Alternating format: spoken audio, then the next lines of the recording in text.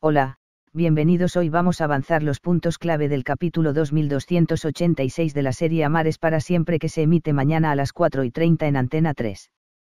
Raúl, indeciso sobre su futuro en Garlo, recibe un inesperado regalo de boda de parte de su padre.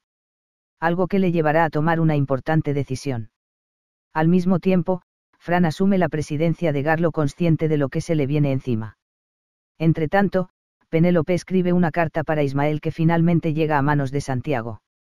Un escrito revelador que le descubre la verdadera relación que existe entre el asesino de su hermano y su mujer, están enamorados. Ella lleva tiempo engañándole con él. Lleno de rabia, Santiago coge la pistola de su hermano y busca a Ismael para acabar con su vida. La tragedia se aproxima a la Plaza de los Frutos. Por otro lado, mientras Medina hace el regalo perfecto a Sonia, aunque eso suponga lanzarla a los brazos de Carlos, Catalina se presenta a la última prueba para ser chica copito, sin saber que Marcelino ha mediado para que sea ella la escogida.